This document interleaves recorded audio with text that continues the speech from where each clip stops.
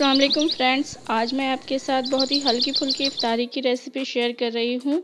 अगर आप रोज़ रोज़ इफ्तारी में ऑयली और मसालेदार चीज़ें खा खा कर थक गए हो तो इसे ज़रूर ट्राई करना। और ये नाश्ता एकदम लाइट सा है, जो सभी को बहुत पसंद आने वाला है। तो इसे मैंने दो तरीके से बनाया है। एक तो तवे पर पराठे टाइप बनाया है और दूसरा पे पैन में बनाया है। आपको जो भी तरीका बेहतर लगे, वो आप यूज़ कर सकते हैं। तो चलिए बनाना स्टार्ट करते हैं। तो सबसे पहले हम ले लेंगे एक कप चावल, बड़े कप से ली हूँ मैंने चावल।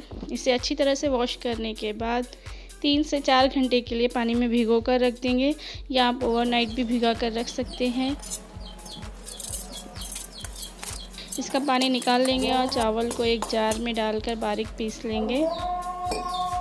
तो एक साथ पूरा चावल नहीं डालना है आधा आधा पीसना है। तो इसमें थोड़ा सा पानी डाल देंगे और इसे बारीक पीस लेंगे। तो ये देखिए, पीस चुका है ये। अब मैंने ले ली हूँ दो उबले हुए आलू। अब हम एक आलू के छोटे छोटे पीस कर लेंगे और बारीक पीस लेंगे।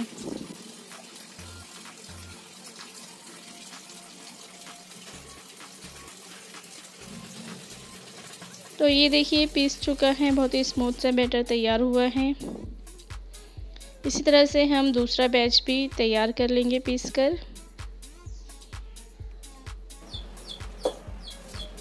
अब हम ले लेंगे एक कप हरे मटर, इसे ग्राइंडर में दर दर से पीस लेंगे।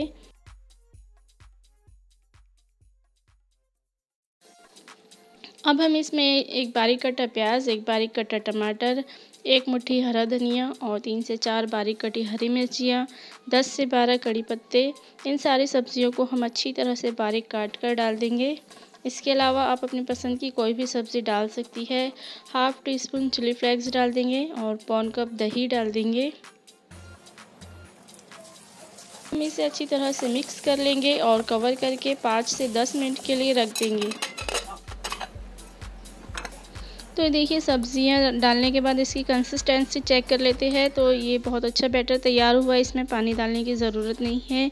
अब हम इसमें नमक डाल देंगे। नमक आप अपने टेस्ट के हिसाब से डालें।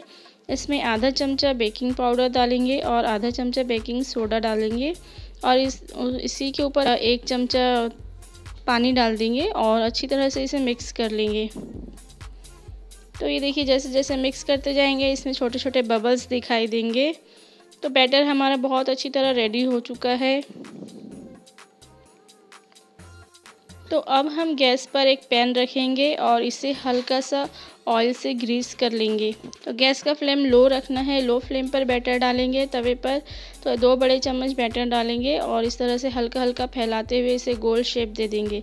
तो ज़्यादा पतला नहीं फैलाना है, इसे थोड़ा मोटा ही रखना है। अब हम इसे कवर करके मीडियम फ्लेम पर दो से तीन मिनट के लिए पकने रख देंगे। दूसरी तरफ़ आप अपे पैन ले लेंगे, हम इसे अच्छी तरह ग्रीस कर लेंगे और इसमें थोड़ा थोड़ा बैटर डाल देंगे, थोड़ा ऊपर से ऑयल और डाल देंगे और इसे कवर करके दो से तीन मिनट तक पकने के लिए रख देंगे मीडियम फ्लेम पर। तो ये देखिए, पराठे को चेक कर लेते हैं, दो से तीन मिनट हो चुके हैं तो ऊपर से हम हल्का सा ऑयल लगा देंगे। अब इसे फ्लिप कर देंगे तो ये देखिए कितनी अच्छी तरह से सीख चुका है। अब दूसरे साइड से भी हम दो से तीन मिनट के लिए कवर करके सेकने देंगे।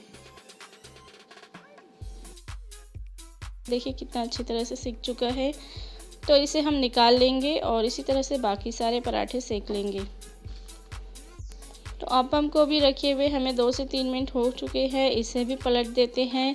तो ये देखिए ऊपर से ड्राई हो चुका है। इसे पलट देते हैं और दूसरे साइड से भी दो मिनट के लिए पकने के लिए कवर करके रख देंगे।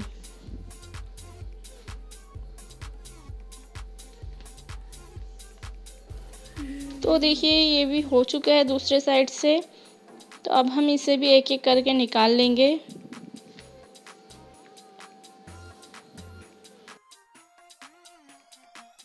देखिए, हमारा ज़बरदस्त सा नाश्ता बनकर रेडी है, जो कि इफ्तारी के लिए बहुत ही हल्का फुल्का है और इसमें हमने बहुत सारी हरी सब्ज़ियाँ यूज़ की है। तो ये हमारी हेल्थ के लिए भी बहुत अच्छा है, बहुत हल्का और लाइट सा नाश्ता है ये। आप इसे ज़रूर ट्राई करें। तो देखिए कितना अच्छा ये अंदर से पक चुका है फ्लॉपी सा है और अपन भी बहुत अच्छे से अंदर से पूरा पक चुका है, वो भी फ्लॉपी सा है। कैसी लगी रेसिपी कमेंट्स करके ज़रूर बताएँ। रेसिपी पसंद आई हो तो इसे लाइक ज़रूर करें और चैनल पर पहली बार आए हो तो इसे सब्सक्राइब ज़रूर करें। थैंक्स फॉर वॉचिंग अल्लाह हाफिज़।